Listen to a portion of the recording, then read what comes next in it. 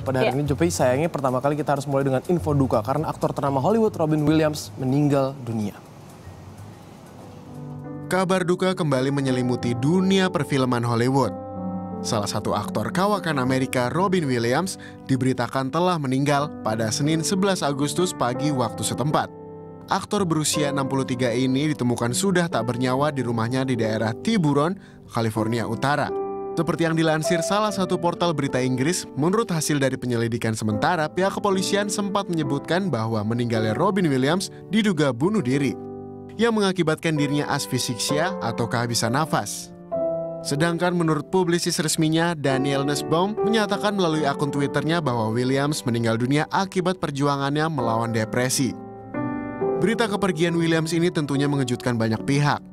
Pada akun jejaring sosial Twitter, kata Rest in Peace Robin Williams sempat menjadi trending topik worldwide. Beberapa public figure dunia pun turut menyampaikan ungkapan dukanya, seperti di antaranya Steve Martin, Ellen DeGeneres, Jimmy Kimmel, Channing Tatum, Lady Gaga, Miley Cyrus, bahkan Presiden Barack Obama sempat merilis ungkapan dukanya atas kepergian komedian tersebut melalui akun Twitter resmi Gedung Putih. Tidak hanya public figure dunia, beberapa selebriti tanah air juga sempat memposting rasa berkabungnya, seperti di antaranya Afgan, Bunga Citra Lestari, Olga Lydia. Well, selamat jalan Robin Williams. Karya-karyamu akan selalu dikenang.